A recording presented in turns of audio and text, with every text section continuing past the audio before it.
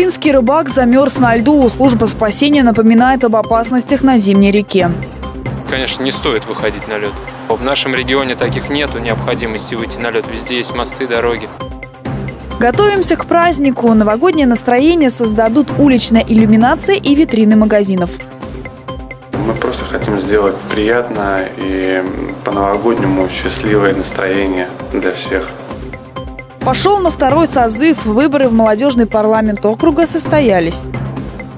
Кандидаты, которые у нас сегодня представлены в бюллетене, э, скажем так, самовыдвиженцы, это организации э, довольно-таки разнообразных. Издержки моды, какие болезни гарантируют отмороженные щиколотки.